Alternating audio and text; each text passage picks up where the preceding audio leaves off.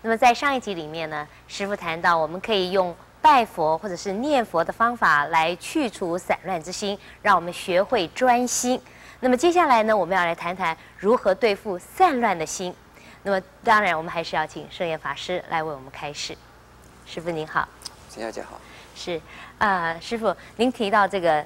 念佛拜佛哈，可以去除打呃这个散乱的心，让我们比较专心一点。那散漫的心呢，是不是也要用同样的方法，还是有更好的方法？哎，散漫心我我我们讲过了，就是呃迷迷糊糊、茫茫然啊，呃也不知所以然，再加上散漫性呢。所以有散漫的人呢，啊、应该叫他呃自己啊，每天有个功功课好做，呃，应还有呢，呃，一个人生的目标啊，方向啊，把它建立起来。也要叫他发一个愿，呃，有自己呃想要做的事，呃，应该要做的事，呃，每天呢要把自己的生活怎么样的规律化，早上应该怎么起来，什么时什么时候起床，起床以后应该做些什么，就把生活规律化以后，呃，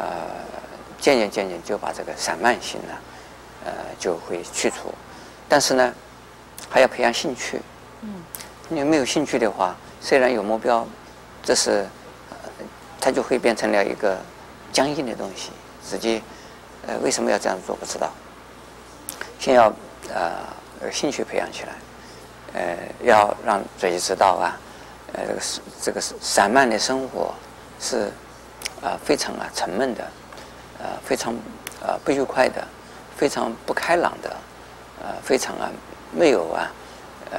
希望的，也没有什么意义的，没有意思哦。哎、没有意思的一种生活。那让自己的生活变成有意思一点，那就是呃，因此呢，给自己一个目标，呃，呃，培养自己的兴趣，呃，常常来呃这个发现自己呀、还能够做些什么事，呃，觉得还还蛮有成就感的。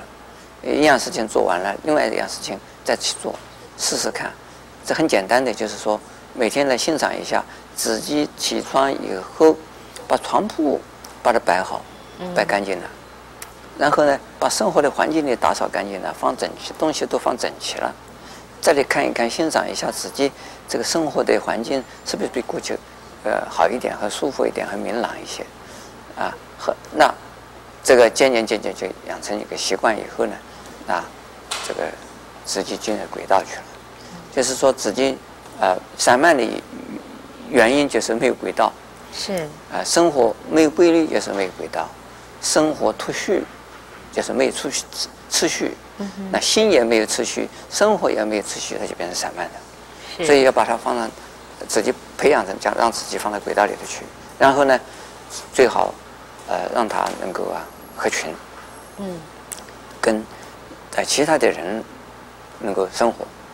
能够交往。呃，如果说是非常孤僻的一个孤独的、孤单的一个人，再加上个散漫的话，那这个人很很很很可怜了。那如果说是呃还能够合群的人，他这个怎么样是散漫的，心里还是觉得啊还需要朋友。那既然需要朋友的时候，跟呃朋友在一起的时候啊，他有这个朋友圈里边的生活方式、生活的文化。呃，因此呢，这这个交朋友最好能交一些呢，不是呃这个乱七八糟的朋友，啊、能够呃讲学问的啊，或者是这个讲信仰的啊，或者是来做一些什么有意义的事的朋友。那这些朋友，呃多几个朋友，那自己的生活就会转变过来。是。那么师傅，您刚刚说生活要有规律，要有轨道，那有的人就想说，那这样完全依照这个规律和轨道而行，是不是太呆板了呢？不会 像我们呃出家人的生活啊，呃，我们主张啊要随众，嗯，随随众啊，随着大众，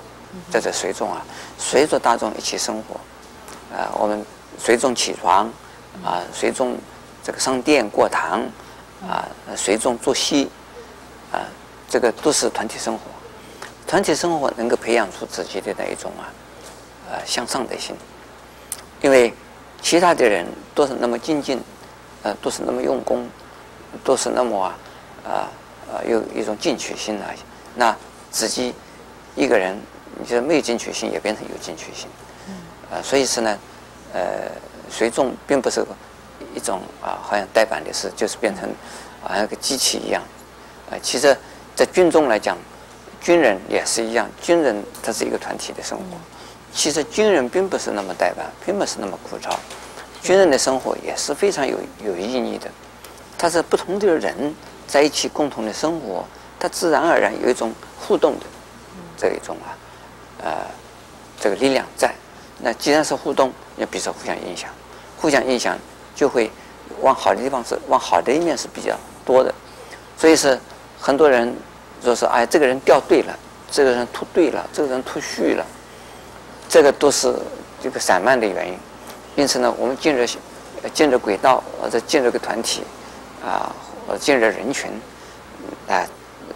一方面接收人群，一方面自己呢被人接收的时候，这个那个散漫自然而然就会没有。是师傅能不能跟我们谈谈，就是说生活规律的话啊，呃。会，我知道出家这种生活都是非常规律的。那这规律对人有什么好处啊？规律的好处太多了。嗯。呃，我举一个例，举举一个比喻啊。那个，那个有一种桌子啊，啊，就是梦中坐啊，是什么做啊？那个桌子一排一一一一这个一个圆的桌圆里边全部都是桌子，同同类的桌子，它长出来的时候啊，这个没有长弯的嘞。嗯都是啊，直的，而且每一根桌子都往上长。因为共同的在一起生活的长成长的时候，它一定需要接受到营养的，接受到这个利益，接收到资金的，受到成长的啊这种机会，他一定这个长得很好。如果单独的一个人的时候，他无所谓，他没有呃没有说我非得要跟跟人家一样的要接受到啊这个教育或者是接接受到成长的。一种机会，他就没有关系了，那就变成了得过且过，哎，很容易迷失自己，很容易迷失自己啊。是，谢谢师傅开示。那么师傅的开示呢，提到就是我们要立定目标，要培养兴趣，同时呢要有规律的生活，随众生活。那么这样子呢，就可以克服我们的散漫之心。希望你也试试看。那么也欢迎您下一集继续跟我们一起来分享佛法的智慧。